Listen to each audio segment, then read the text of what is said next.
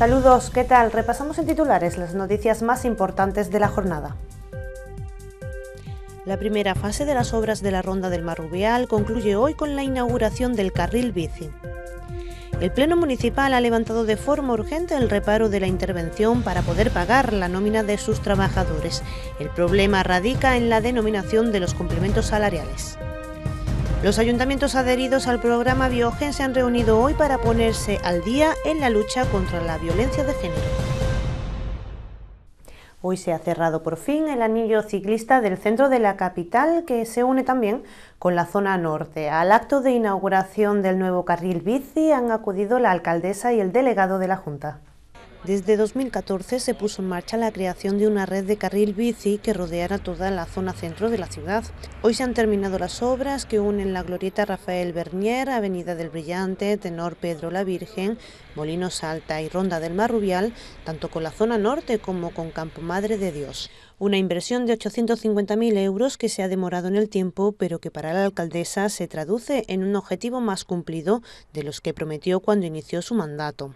Además, gracias a esta actuación se pone en valor de nuevo una zona muy abandonada de la capital, como es el Marrubial, según apunta el delegado. Una parte eh, importante, y yo creo que por eso hemos venido aquí a terminar, a terminar esta, esta apertura de tramo, porque no solamente se hace el carril bici y se, y se cierra ese anillo que decíamos antes, sino que también se reurbaniza eh, toda esta zona eh, pegada a la muralla que yo creo que revitaliza eh, toda esta zona a nivel peatonal, a nivel vecinal y sobre todo también comercial en, una parte de Córdoba que estaba ciertamente, ciertamente abandonada. Por lo tanto, creo que estamos de enhorabuena con esta apertura y, bueno, y a partir de ahora pues ya se puede disfrutar tanto de la bicicleta como de este estupendo paseo que tenemos en la Ronda del Morrubial.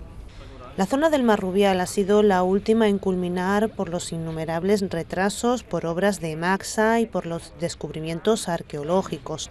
Además, era importante adecuar la actuación a la muralla. No todas las calles de Córdoba, ni siquiera todas las calles de cualquier ciudad, tienen un lienzo de muralla de más de 400 metros, eh, los que tenemos que hacer además un esfuerzo importante para que esa adecuación quede perfectamente encajada en el entorno. Una vía que cumple una función fundamental en la movilidad y en el transporte público en la ciudad de Córdoba y por eso nos empeñamos en que tuviera cuatro carriles y una vía sobre la que también los vecinos tienen que reconocer que después de tantos años esperando esta reforma se le vea desde la utilidad. Aún quedan por ejecutar 14 kilómetros de carril bici en la ciudad que se presupuestarán tras la auditoría planteada por el nuevo gobierno andaluz. A eso se suma el proyecto de la oficina de la bicicleta que el ayuntamiento quiere poner en marcha.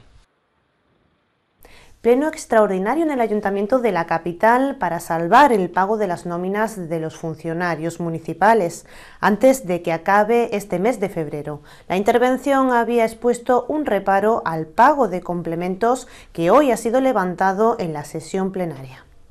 Según el gobierno local, la forma en que se retribuían los complementos salariales es la misma desde hace 30 años. Sin embargo, se ha cambiado la forma de denominarlos y esto ha sido objeto de análisis de la interventora municipal que finalmente ha optado por el reparo. La nómina se calcula en función de varios conceptos, el salario base, el complemento de productividad y los complementos específicos. Estos, a su vez, se subdividen en cinco, dificultad técnica, especial dedicación, responsabilidad y discrecionalidad. La cuestión es que el ayuntamiento también paga otros complementos aparte, como el plus de homologación, el plus penoso, conducción, nocturnidad, eventos y domingos y festivos. Finalmente, el Pleno ha levantado el reparo con la aprobación del PSOE, Izquierda Unida y Ganemos, mientras que Ciudadanos y PP se han abstenido. Los populares apuntan a que han hecho un ejercicio de responsabilidad al anteponer los intereses de los funcionarios a los propios del partido. Y digo más, no hemos tenido por responsabilidad. Cuando ella dice que o echan falta el interés general de la oposición, hemos vuelto a demostrar que anteponemos los intereses de la ciudad antes que el partido. Y hoy nos hemos vuelto a abstener. Fuentes ha remarcado que esta tónica general del gobierno municipal responde a una ineficaz gestión de la alcaldesa que promulga un plan de eficacia carente de sentido. Me parece absolutamente lamentable y muy triste que tengan que estar mil y pico de trabajadores, dos mil trabajadores pendientes en los pasillos de que se levante un reparo de intervención porque no se ha hecho la valoración de puestos de trabajo, que es la gran asignatura pendiente que tiene este ayuntamiento. Lo que se ha hecho hoy es la prueba evidente de una calamidad, de una alcaldesa que es una calamidad como gestora. Y a las pruebas me remito.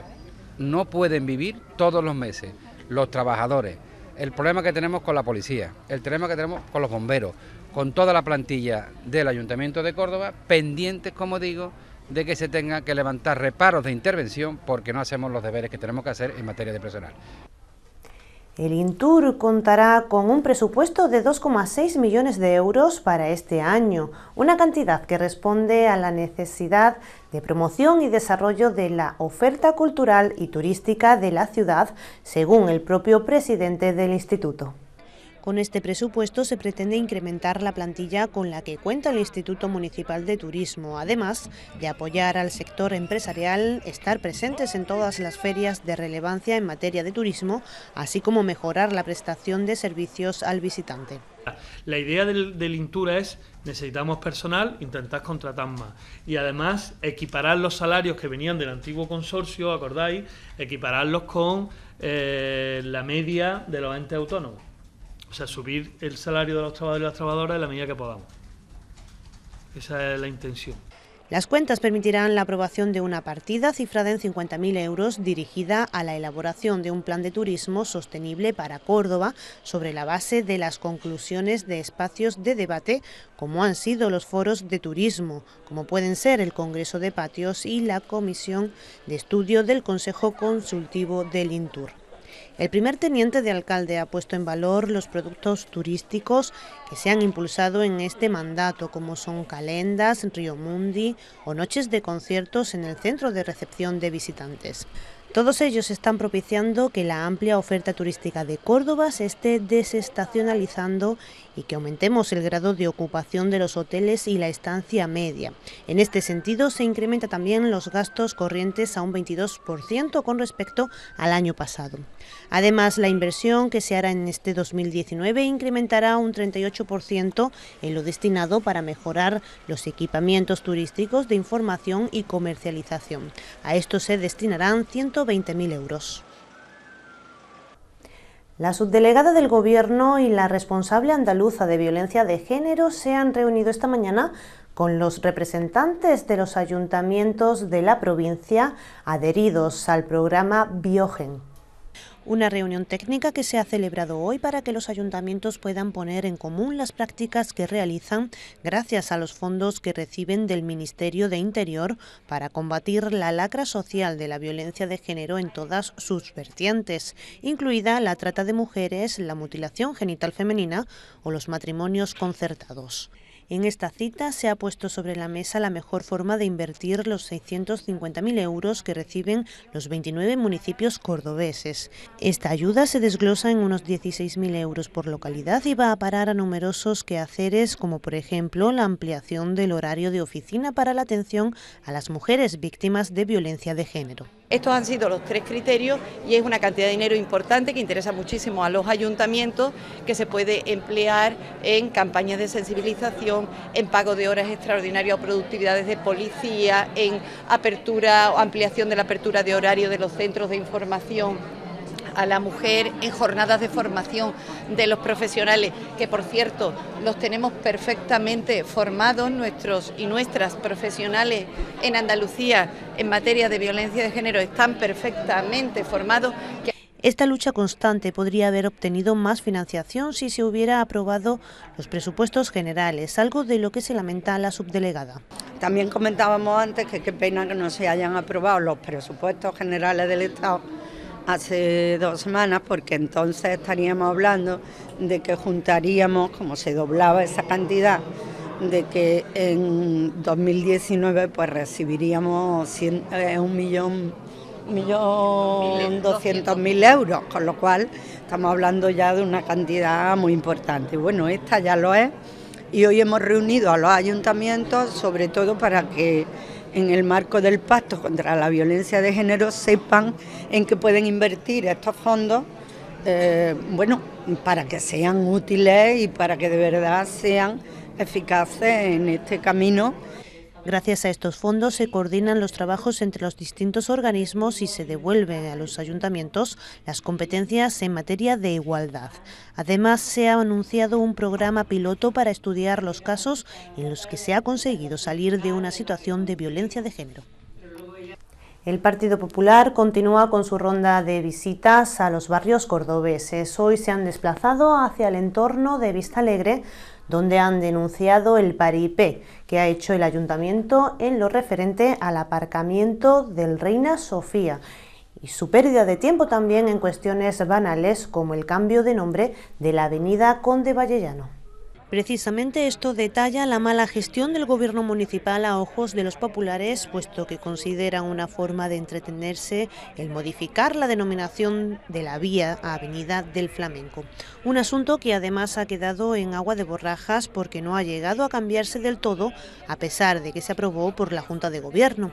Para el PP esto es un indicador de que la alcaldesa no tiene un plan de ciudad consolidado, por lo que los cordobeses deben recordar estas situaciones la hora de votar, sobre todo porque Ambrosio no podrá gobernar sola. Pues la sorpresa es que después de que hace más de un año, perdón, hace casi un año, eh, desde la Junta de Andalucía, desde el Servicio Andaluz de Salud, desde la Delegación de Sanidad, desde la Consejería de Salud, se le enviaran al Ayuntamiento unas propuestas que tenía el Ayuntamiento que responder a través de la convocatoria de la Mesa de Movilidad para resolver definitivamente este asunto. En este casi año que ha pasado el Ayuntamiento no ha hecho absolutamente nada.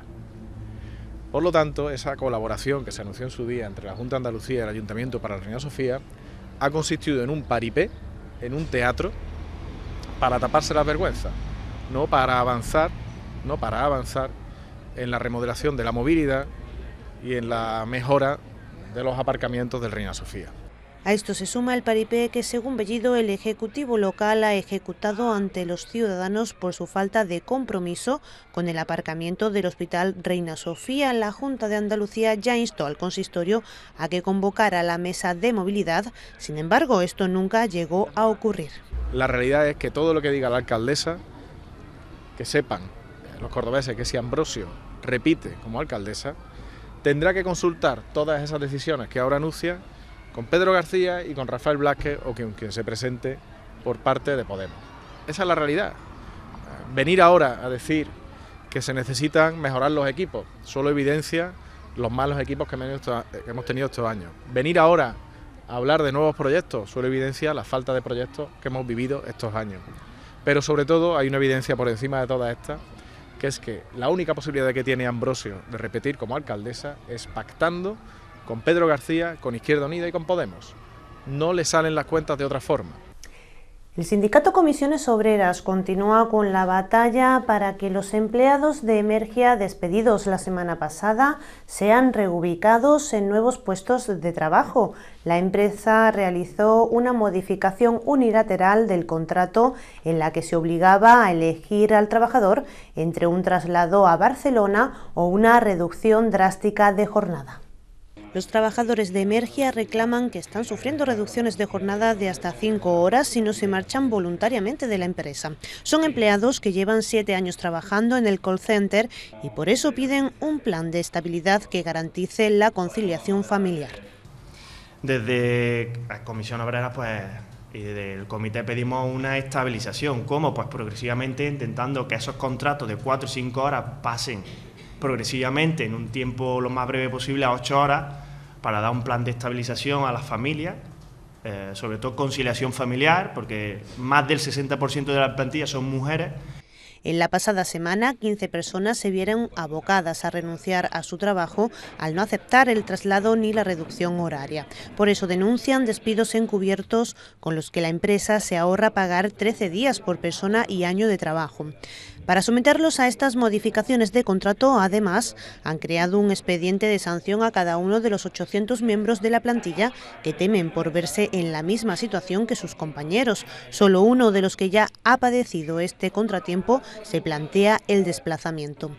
También recuerda el delegado sindical que los trasladan a Barcelona cuando allí se están produciendo los mismos despidos. Se valen de ello para que los trabajadores pidan su baja voluntaria. 14 personas ya han tomado esta decisión ante la imposición de trasladarse a la capital condal. La plantilla ya ha presentado el caso en la inspección de trabajo para que tome cartas en el asunto y defiendan los derechos de los empleados de Emergia.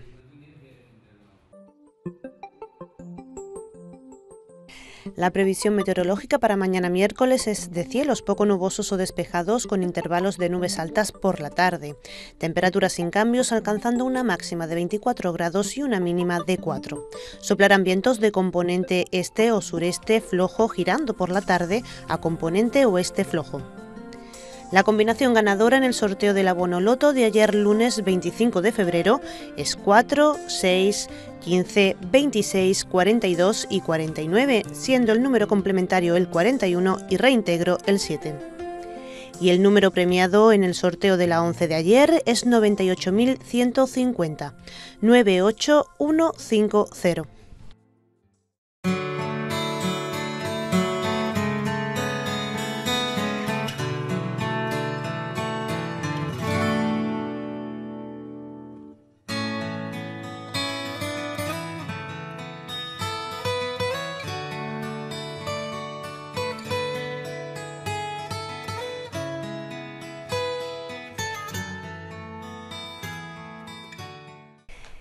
Es todo por hoy, disfruten de lo que queda de día. Nosotros volvemos mañana con toda la información de Córdoba aquí en PTV Noticias.